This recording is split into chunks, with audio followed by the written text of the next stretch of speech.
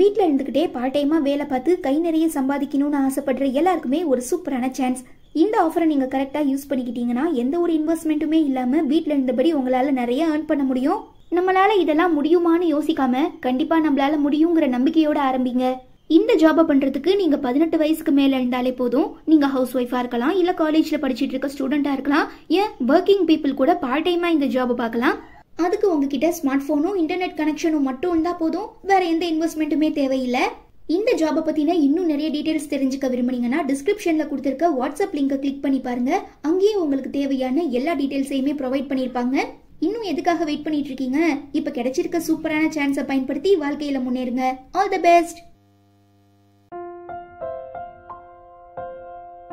hello everyone இன்னைக்கு நம்ம இந்த சைனீஸ் டாக்ஸிக் ரிலேஷன்ஷிப் ட்ராமாக்கான செகண்ட் எபிசோட் தான் பார்க்க போகிறோம் இந்த ட்ராமா முடிஞ்சதும் நீங்கள் எல்லாரும் கேட்டுக்கிட்ட மாதிரி நான் உங்களுக்காக பிலினியர் சிஇஓ ட்ராமாவோட செகண்ட் எபிசோட் அப்லோட் பண்ணுறேன் அதுக்கு முன்னே இன்னும் நம்ம சேனலுக்கு சப்ஸ்கிரைப் பண்ணாதவங்க சப்ஸ்கிரைப் பண்ணிக்கோங்க.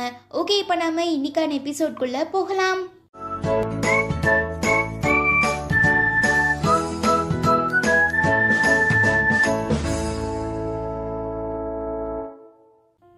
எபிசோட்கான ஓப்பனிங் சீனில் பார்த்தோன்னா நம்ம ஹீரோயின் தன்னோட அம்மாவும் இறந்து போயிட்டாங்க. ப்ளஸ் தான் வயிற்றுக்குள்ள இருந்த குழந்தையும் போயிடுச்சுங்கிற துக்கத்துலேருந்து மீள முடியாமல் பயங்கரமாக ஃபீல் பண்ணி இதுக்கப்புறம் நான் உயிரோட வாழ்றதுல எந்த அர்த்தமும் இல்லை. தயவு செஞ்சு எனக்கு டிவோர்ஸ் கொடுத்துரு. நான் என் வாழ்க்கையை தனியாக வாழ்ந்துக்கிறேன்னு சொல்ல. நான் என்னோட அம்மா ஆசையை நிறைவேற்றுறதுக்காக தான் ஒன்றை மேரேஜ் பண்ணிக்கிட்டேன். ஈவன் நீனுமே உங்கள் அம்மா உயிரை காப்பாத்துறதுக்காக என்கிட்ட இருந்து நிறைய காசு வாங்கியிருக்க. ஸோ அந்த காசை டேலி பண்ணுறதுக்காகவாவது நீ என் கூட ஒன்றா சேர்ந்து வாழ்ந்துதான் ஆகணும். இன்னொரு தடவை என்னை டிவோர்ஸ் பண்ணிட்டு போகிறத பற்றி நீ கனவுல கூட நினச்சி பார்க்காதன்னு சொல்லிட்டு மைக்கேல் அங்கே எழுந்து கிளம்பிடுறான். பட் இவன் மனசுலையுமே கொஞ்சம் ஈரம் இருக்கிறதுனால தனக்கு தெரிஞ்ச ஒருத்தருக்கு கால் பண்ணி எங்க மாமியார் இறந்து போயிட்டாங்க. ஸோ நம்ம குடும்பத்துக்கு எவ்வளோ சிறப்பான இறுதி சடங்கு பண்ணுவீங்களோ அதே மாதிரி பண்றதுக்கு ஏற்பாடு பண்ணுங்கன்னு சொல்லிடுறான். தென் நம்ம ஹீரோயின் ஃபியூனரில் முடிச்சுட்டு வந்ததும் மைக்கேல் அவங்கள ஏதாவது சாப்பிட சொல்லி பயங்கரமாக கட்டாயப்படுத்துகிறான் பட் நம்ம ஹீரோயின் வேண்டான்னு சொல்லவும் இப்போவே உன் மூஞ்ச பார்க்க சகிக்கல. ஏதாவது சாப்பிடுன்னு சொல்ல. உங்களுக்கு தான் என்ன பார்த்தாலே பிடிக்கலல அருவருப்பா இருக்கல அப்புறம் எதுக்கு இன்னும் உயிரோட வச்சிருக்கீங்க? தயவு செஞ்சு என்ன கொண்டுருங்கன்னு ஹீரோயின் கேட்க. உன்னை நான் கொல்லணும்னு நினைச்சிருந்தா எப்பவோ போட்டு தள்ளியிருக்கலாம். பட் உன்னால எனக்கு சில காரியங்கள் ஆகணும்னு மைக்கேல் சொல்லிட்டு இருக்கும்போது அங்க வர பெல்லா நீங்க நினைச்சிட்டு இருக்க மாதிரி ஹீரோயின் ஒன்றும் அவ்வளோ நல்ல பொண்ணெல்லாம் கிடையாதுன்னு சொல்லி ஹீரோயின் கூட ஹாஸ்பிட்டல்ல வேலை பார்த்த இன்னொரு பொண்ணை கூட்டிட்டு வரா? நானும் ஹீரோயினும் அந்த ஹாஸ்பிட்டல்ல வேலை பார்த்துட்டு இருக்கும்போது தான் உங்க அம்மாவை அட்மிட் பண்ணாங்க. அப்ப ஹீரோயின் யாருக்கோ கால் பண்ணி நான் ஒரு பணக்கார பேஷண்ட் கிட்ட பேசிட்டு இருக்கேன் ஸோ நீங்க கொஞ்சம் பொறுமையா இருங்க. எப்படியோ உங்களை ஏமாத்தி என்னோட காரியத்தை நான் சாதிச்சிருவேன்னு சொன்னா ஈவன் அதுக்கேற்ற மாதிரி உங்க அம்மாவுக்குமே ஹீரோயினை ரொம்ப ரொம்ப பிடிச்சு போயிடுச்சு. பட் அவங்க மரண தருவாயில் இருக்கும்போது ஹீரோயின் ரொம்ப நல்ல பொண்ணு. ஸோ அவளுக்கு ஏதாவது பணங்காசு கொடுத்து உதவி பண்ணுன்னு தான் எழுதியிருந்தாங்க. பட் ஹீரோயின் தான் அதை அப்படியே மாத்தி தன்னோட மகனான உங்களை ஹீரோயினை கல்யாணம் பண்ணிக்க சொல்லி எழுதி வச்சிருந்தா? ஸோ உங்க அம்மா நீங்க ஹீரோயினை கல்யாணம் பண்ணிக்கணும்னு ஆசைப்படல. ஹீரோயின் தான் பக்காவா பிளான் பண்ணி இது எல்லாத்தையுமே எக்ஸிக்யூட் பண்ணியிருக்கா? அதை நம்பி நீங்க ஹீரோயினை கல்யாணம் பண்ணிக்கிட்டு இப்போ அவ கூட ஒன்னா சேர்ந்து வாழ்ந்துட்டு இருக்கீங்கன்னு கொளுத்தி போடவும்? நம்ம ஹீரோயினுக்கு தூக்கி வாரி போட்டுருது. அட என்னங்கடி நீங்களாம்? எனக்கே தெரியாம என் கதையில இவ்வளோ பெரிய ட்விஸ்ட் வைக்கிறீங்கன்னு சொல்லி வியந்து போயிடுறாங்க. ஆனால் ரொம்ப டென்ஷன் ஆகிடுற மைக்கேல் ஹீரோயினை பார்த்து இவ சொன்னது எல்லாமே உண்மையானுக்கே க அதெல்லாம் இல்லை இவங்கெல்லாம் பொய் சொல்கிறாங்கன்னு ஹீரோயின் தான் சைடில் இருக்கிற நியாயத்தை சொல்லி புரிய வைக்க எவ்வளவோ ட்ரை பண்ணுறாங்க பட் அந்த பொண்ணு இல்லை இல்லை இவ சொல்கிறது நீங்கள் நம்பாதீங்க.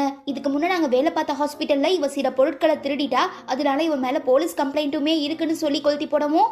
அவ்வளோதான் இந்த மைக்கேல் மக்கப்பையா இதுங்க சொல்கிற எல்லாத்தையுமே நம்பி ஹீரோயின் மேலே ரொம்ப கோவப்பட்டு உனக்கு என்ன? என்கிட்ட இருந்து டிவோர்ஸ் தானே வேணும்? இந்தா வச்சுக்கோன்னு சொல்லி உடனே பேப்பர்ஸில் சைன் போட்டு கொடுத்து என் வீட்டை விட்டு வெளியில் போன்னு சொல்ல.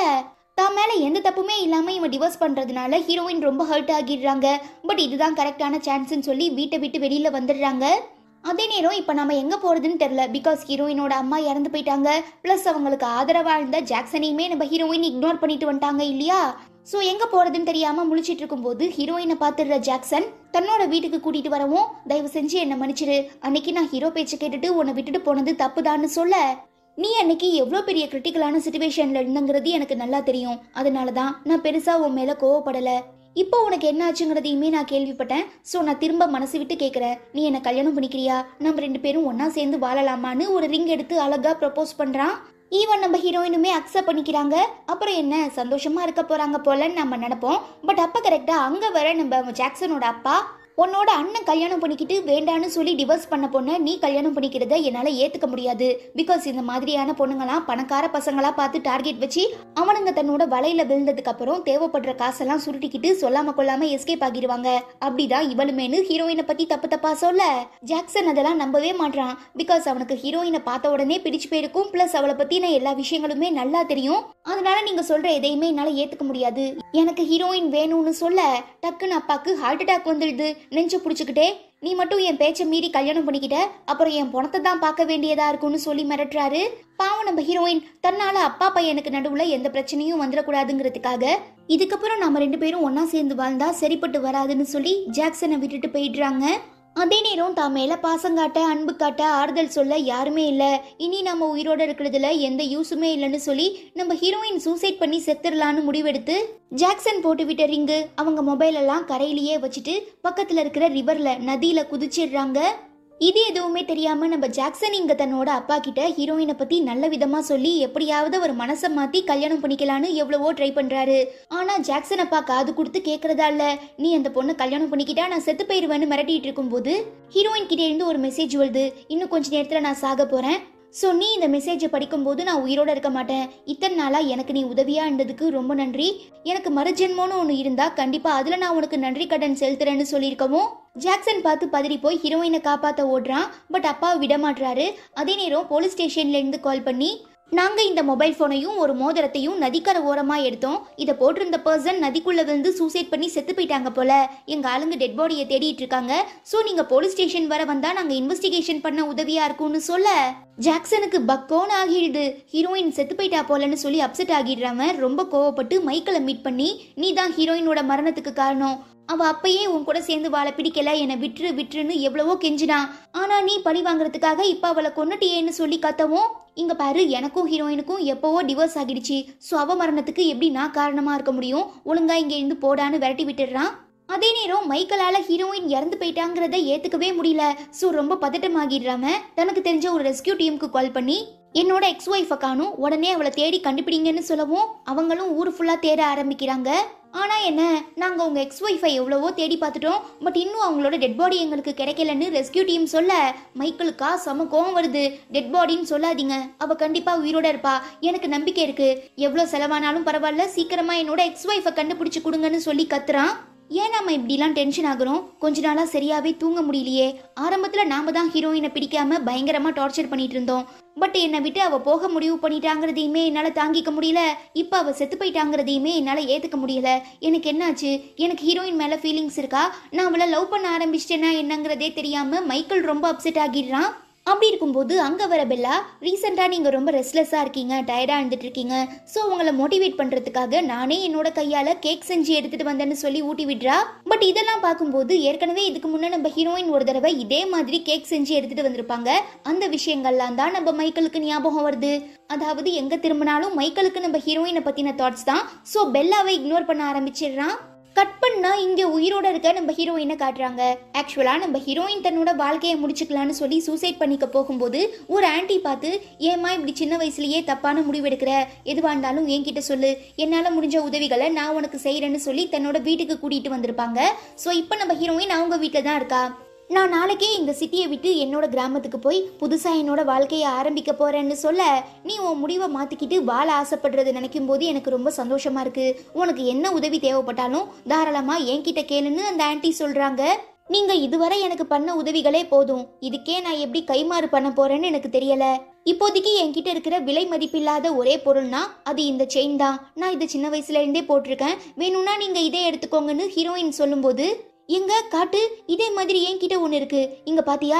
இந்த மோதிரத்தையும் இந்த செயினையும் நான் தான் டிசைன் பண்ணேன். இது அம்மா பொண்ணுக்காக ஸ்பெஷலாக டிசைன் பண்ணி என்னோட பொண்ணுக்கு நான் போட்டு விட்டேன். பட் அவள் மூணு வயசாக இருக்கும்போது ஒரு அம்யூஸ்மெண்ட் பார்க்கில் ஐஸ்கிரீம் வாங்கி கேட்டப்போ நான் தனியாக விட்டுட்டு போனதுனால அந்த பொண்ணு தொலைஞ்சு போயிட்டா. இப்பதான் எனக்கு எல்லாம் புரியுது.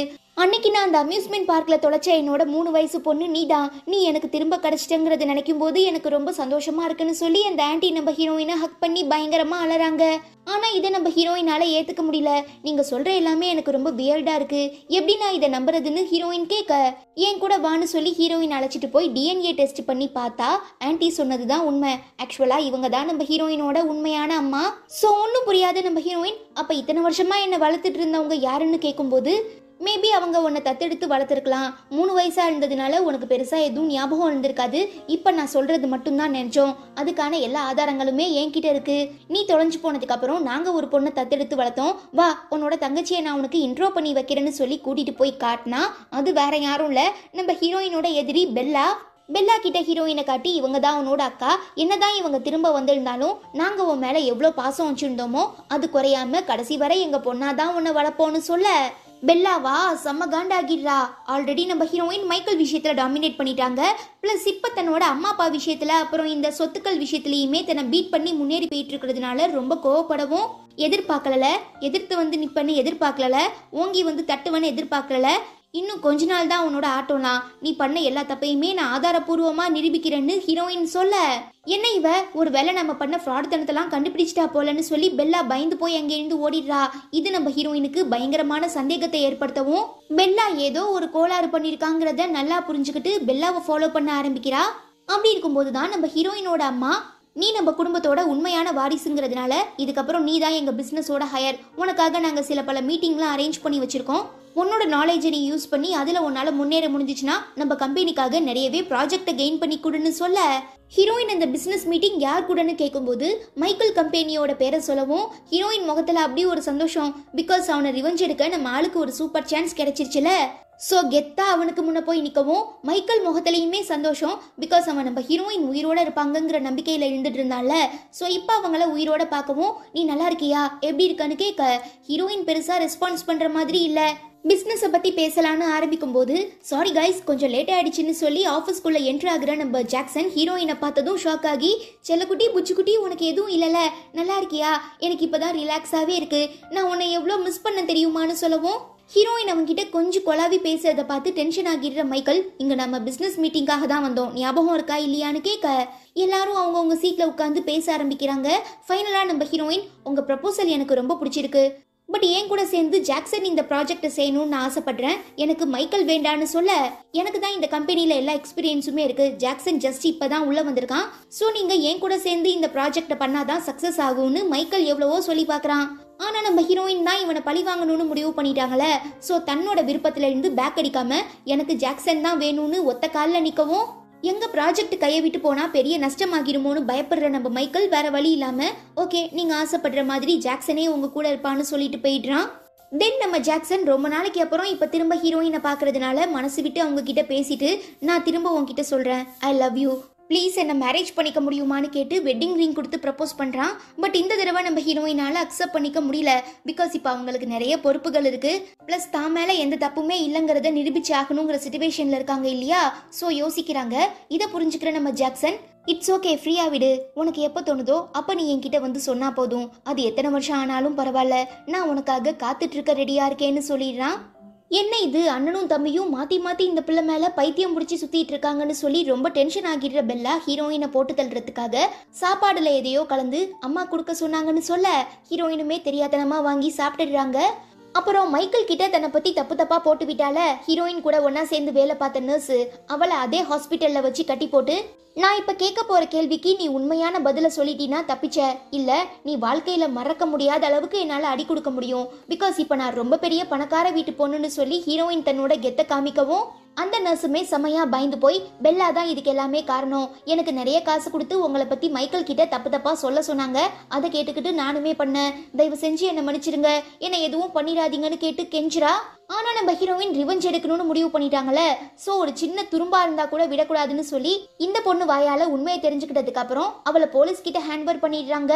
பட் பெல்லா கொடுத்த அந்த பாய்சன் ரொம்ப லேட்டா தான் ரியாக்ட் ஆகும். சோ இப்போ நம்ம ஹீரோயினுக்கு ரியாக்ட் ஆகி பொத்துன்னு மயங்கி விழுந்துடுறாங்க. கண் விழிச்சு பார்க்கும்போது ஹாஸ்பிட்டல்ல இருக்கவும் தன்னோட அம்மா கிட்ட நான் எப்படி இங்க வந்தேன்னு கேட்க யாரோ உனக்கு ஸ்லோ பாய்சன் கொடுத்துருக்காங்க. அதனால நீ ஹாஸ்பிட்டல்லையே மயங்கி விழுந்துட்ட. நல்ல வேலை ஒரே கேம்பஸ்ல இருந்ததுனால உடனே உன்னை அட்மிட் பண்ணி காப்பாத்திட்டாங்க. அப்புறம் டாக்டர் உன்னை செக் பண்ணி பார்த்ததுல கொஞ்ச நாளைக்கு முன்னால உனக்கு மிஸ்கேரேஜ் ஆகியிருக்கு அபார்ஷன் ஆகியிருக்குங்கிற விஷயத்த சொன்னாரு. உண்மையை சொல்லுமா உனக்கு என்னாச்சு? எப்படி இதெல்லாம் நடந்துச்சுன்னு அம்மா கேக்குறாங்க. ஆனா நம்ம ஹீரோயின் தன்னை பத்தின எந்த உண்மையும் சொல்லாம கொஞ்சம் வெயிட் பண்ணுங்கம்மா. இப்போ நான் ரொம்ப பெரிய ப்ராப்ளம்ல இருக்கேன். அதை சால்வ் பண்ணதுக்கு அப்புறம் நடந்த எல்லா உண்மைகளையும் உங்ககிட்ட சொல்றேன்னு சொல்லிட்டு இருக்கும்போது அங்கே ஹீரோயினை பார்க்கறதுக்காக மைக்கேலும் ஜாக்சனும் வராங்க. ஸோ அம்மா மரியாதைக்காக வெளியில் போனதுக்கப்புறம் நீ எப்படி இருக்க? உனக்கு எந்த பிரச்சனையும் இல்லைல்லன்னு மைக்கேல் கேட்க டென்ஷன் ஆகிற நம்ம ஹீரோயின் உடனே இங்கே இருந்து போன்னு சொல்லவும் அப்படிலாம் என்னால் உன்னை விட்டுற முடியாது. உன்னோட இந்த நிலைமைக்கு யார் காரணங்கிறத நான் கண்டுபிடிக்கிறேன்னு சொல்லிட்டு வெளியில் போயிடுறான். தென் நம்ம ஹீரோயின் தனக்கு நடந்த விஷயங்களை ஜாக்சன் கிட்ட சொல்லும்போது யாரோ உனக்கு சாப்பாடு மூலமா தான் சூனியம் வச்சிருக்காங்கன்னு சொல்ல ஹீரோயினுக்கு சில பல முக்கியமான விஷயங்கள்லாம் ஞாபகம் வருது. கொஞ்ச நாளைக்கு முன்ன பிரெக்னெண்டா இருந்தப்போ மெய்டம்மா கொடுத்த சூப்பை குடிச்சதுக்கு அப்புறம் தான் ஹீரோயினுக்கு அபார்ஷன் ஆகிருக்கும்ல சோ அதை பத்தி யோசிக்கும் போது மைக்கேல் உங்களுக்காக இந்த ஸ்பெஷல் சூப்பை தர சொன்னாங்கன்னு சொல்லி மெய்டம்மாவே ஹாஸ்பிட்டலுக்கு வந்துடுறாங்க. உண்மையை சொல்லுங்க எனக்கு அபார்ஷன் ஆகிறதுக்காக நீங்க ஏதாவது பண்ணீங்களான்னு ஹீரோயின் கேட்க குற்ற உணர்ச்சி ஆகிற மேடம்மா அப்படியே கீழே விழுந்து பயங்கரமா அழுது தயவு செஞ்சு என்ன மன்னிச்சிடுங்க. அப்ப நான் இந்த கஷ்டத்துக்கு எனக்கு என்ன பண்றதுன்னு தெரியல. அதனால தான் பெல்லா கிட்டே இருந்து காசு வாங்கிட்டு அவ சொன்ன மாதிரி உங்க குழந்தைய அபார்ஷன் பண்றதுக்கான மருந்தை நான் கொடுத்தேன்னு சொல்லி அலறாங்க டென்ஷன் ஆகிடுற நம்ம ஹீரோயின் போனா போதும் தான் உங்களை விடுறேன். ஒழுங்கா இங்க இருந்து கிளம்புங்கன்னு சொல்லிட்டு தன்னோட அண்ணன் ஒருத்தர் இருந்தான்ல அவனை கடத்திட்டு வந்து நம்ம அம்மாவை என்னடா பண்ண? எப்படிடா அவங்க இறந்து போனாங்கன்னு கேட்க நான் அவங்க கிட்ட காசு கேட்டேன் அவங்க தரல. ஸோ நான் கழுத்தை பிடிச்சி நடிச்சேன் அதனால அவங்க மயங்கி விழுந்துட்டாங்க. மற்றபடி எனக்கு எதுவுமே தெரியாதுன்னு இவன் சொல்ல. நான் ஒரு பணக்கார வீட்டில் வாக்கப்பட்டிருக்கேங்கிற விஷயத்த யாரு உனக்கு சொன்னான்னு கேட்கும்போது அவன் பெல்லா பேரை ஓப்பனாக ரிவீல் பண்ணிடுறான். ஸோ இந்த எல்லா ப்ராப்ளமுக்கும் பெல்லா தான் காரணங்கிறத புரிஞ்சுக்கிற நம்ம ஹீரோயின் அவளை டைரக்டாக மீட் பண்ணி ஏன் இப்படிலாம் பண்ணனுக்கே க ஆமா நீ ஃபர்ஸ்ட் என்கிட்ட இருந்து மைக்கேல் ஆட்டையை போட்டுட்ட. அதுக்கப்புறம் என்னோட அம்மா அப்பா இந்த குடும்பத்து சொத்து எல்லாத்தையுமே அபகரிக்க பார்த்த. அதை என்னால் தாங்கிக்க முடியல. அதனால தான் உனக்கு ஒரு ஃபுல் ஸ்டெப் வைக்கிறதுக்காக இது எல்லாத்தையுமே நான் பண்ணேன். பட் நீ அதுலேருந்து தப்பிச்சிட்ட. என்னால் இதை தாங்கிக்க முடியல. ஸோ என் கையாலேயே உன்னை நான் கொன்னுடுறேன்னு சொல்லி ஹீரோயின் கழுத்தை பிடிச்சி நெரிக்கும் போது கரெக்டாக அங்கே ஹீரோயினோட அம்மா வந்து தடுத்துடுறாங்க. ஈவன் மைக்கேல் ஜாக்சன் ரெண்டு பேருமே வந்து பெல்லா பண்ண எல்லா தப்பையுமே புரிஞ்சுக்கிட்டு உடனே அவளை போலீஸ்ல ஹேண்ட்பர் பண்ணிடுறாங்க. சாரிம்மா நான் வளர்த்த பொண்ணான பெல்லா இவ்வளோ கொடூரமா நடந்துப்பான்னு நான் கொஞ்சம் கூட எதிர்பார்க்கல. அதுக்காக நான் உன்கிட்ட மன்னிப்பு கேட்டுக்கிறேன்னு அம்மா சொல்ல. இருக்கட்டும்மா அதெல்லாம் வேண்டான்னு ஹீரோயின் சொல்லிடுறாங்க. என்னையுமே மன்னிச்சிரு நான் உன்னை தப்பா புரிஞ்சுக்கிட்டேன். ப்ளீஸ் தயவு செஞ்சு எனக்கு இன்னொரு சான்ஸ் கொடு. கண்டிப்பா நான் உனக்கு ஒரு நல்ல புருஷனா இருப்பேன்னு மைக்கேல் கெஞ்சிரான் இதே வாழ்க்கையை தானே பல தடவை நானுமே உன்கிட்ட சொல்லி கெஞ்சிருக்கேன். பட் ஒரு தடவையாவது நான் சொல்ல வர விஷயத்த நீ பொறுமையாக கேட்டிருக்கியா? இல்லை என் ஃபீலிங்ஸுக்கு தான் மதிப்பு கொடுத்துருக்கியா? அப்படிப்பட்ட ஒருத்தனை எப்படி திரும்ப என்னால் நம்ப முடியும்? ஸோ கண்டிப்பாக நான் உன்னை கல்யாணம் பண்ணிக்க மாட்டேன். நீ எனக்கு வேண்டான்னு ஹீரோயின் ரிஜெக்ட் பண்ணிடுறாங்க. இதுதான் கரெக்டான சான்ஸ்னு சொல்லி நம்ம ஜாக்சன் ஹீரோயின் அம்மா கிட்ட ஆண்டி நீங்க தான் இதுக்கு எல்லாமே சாட்சின்னு சொல்லி திரும்ப அந்த வெட்டிங் ரிங்கை கொடுத்து ஹீரோயின் கிட்ட தன்னோட காதலை ப்ரப்போஸ் பண்றான். இந்த டைம் நம்ம ஹீரோயின் அக்செப்ட் பண்ணிக்கிறாங்க. அவ்வளோதான் இதோட இந்த ட்ராமாவுமே ரொம்ப ஸ்வீட்டாக முடியுது. முக்கியமாக நம்ம ஹீரோயின் செகண்ட் லீடு கூட டைப் ஆகியிருக்காங்க.